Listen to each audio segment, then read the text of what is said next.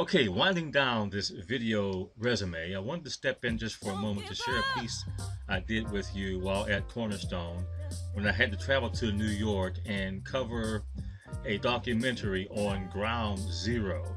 I don't have the original piece that the television station airs, but I do have in my Avid software my stand-up piece, and I was able to pull the actual presentation off of a DVD.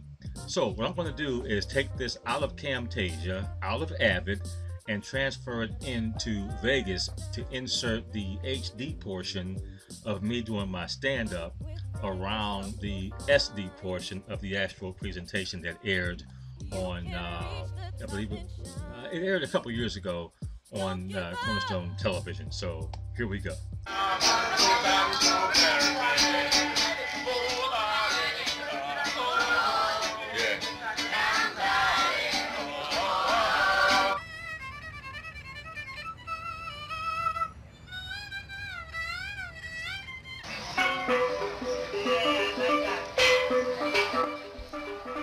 New York, New York, known the world over as the center of everything.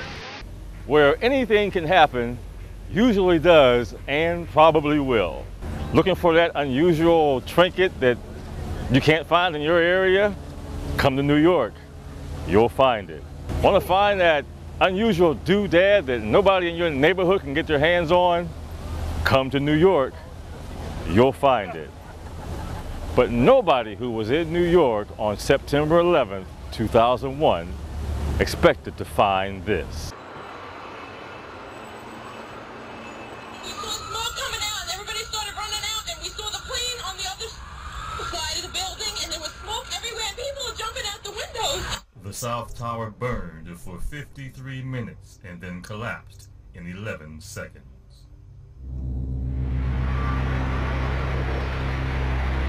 Jackie DeLara was a high-powered executive at one of the world's premier banks on that fateful day. Now retired, she tells the story of her five-hour walk home that began shortly after the second tower collapsed.